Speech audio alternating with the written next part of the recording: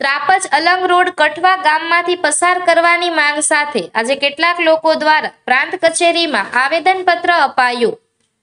ભાવનગર જિલ્લાના તળાજા તાલુકાના ત્રાપજ ગામથી અલંગ રોડ હાઈવે બની રહ્યો હોય તે બાબતને લઈને આજે કઠવા ગામના કેટલાક ગામ લોકોએ આજરોજ પ્રાંત અધિકારીને આવેદનપત્ર આપ્યું હતું. અને આવેદનપત્રમાં જણાવવામાં આવ્યું હતું કે હાલમાં Trapaj Kathva road four line થવા માટેની કામગીરી ચાલુ છે અને કઠવા ગામને બાયપાસ કરવાની વિચારણા ચાલુ છે.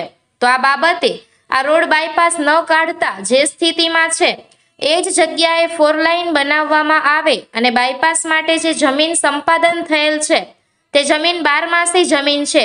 તે જમીનના નાના ખાતેદારો છે જેની રોજીરોટી અને પશુપાલન જમીન ઉપર નિર્ભર છે. તથા બાયપાસ પસાર થાય છે ત્યાં ગામ લોકોના મકાન આવેલ હોવાથી ભારે નુકસાન થાય તેમ છે. જેથી કરીને અલંગ રોડ કઠવા ગામમાંથી જ પસાર થાય તે બાબતને લઈને આવેદનપત્ર આપવામાં આવ્યું હતું.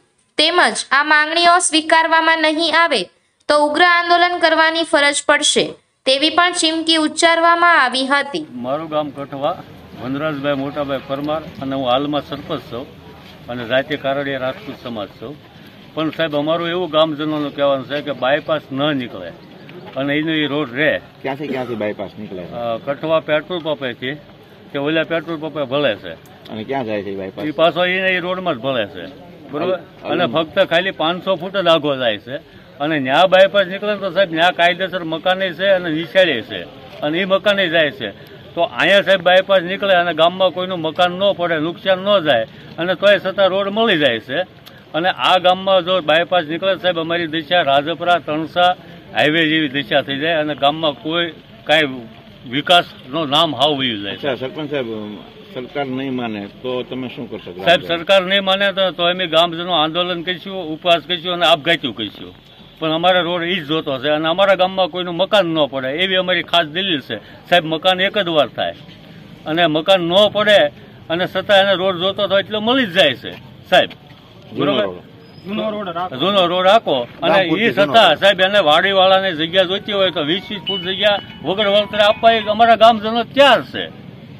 બાયપાસમાં વગર કઠવા ગામના ખેડૂતના પુત્ર છું. અને હાલમાં જે રોડ છે તે રોડ જો રાખવામાં આવે તો ગામનાને કશું નુકસાન થતું નથી. પ્લસમાં જો ગામમાં જે મકાન એની યથાવત સ્થિતિમાં રાખી અને આજુબાજુમાં જે પાંચસો ફૂટનો વિસ્તાર મૂકી અને રોડ બનાવવામાં આવે તો ગામના તમામ ખેડૂતો સહમત છે.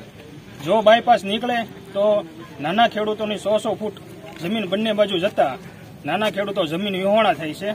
અને સરકારે આજ સુધીમાં માત્ર દસ કે પંદર ફૂટનું વળતર આપ્યું છે ઓગણીસો છ્યાસીમાં અને હાલમાં સરકાર સો ફૂટ જમીનનું સંપાદન કરવા ચાહે છે, જે તદ્દન ગલત છે. હાલમાં ત્યાં જે બાયપાસ નીકળે છે ત્યાં બે સ્કૂલ છે. આ બે સ્કૂલ તમામ દિવાલો પડી જાય છે અને સ્કૂલમાં બાળકો પણ નુકસાન થાય છે. તો હાલમાં જે રોડ છે, એ યથાવત રાખી અને માત્ર ગામને નુકસાન ન થાય અને બંને બાજુ જો રોડ થાય, તો ગામના ખેડૂતો તમામ સહમત છે. બાયપાસમાં કોઈ પણ ખેડૂત સહમત નથી.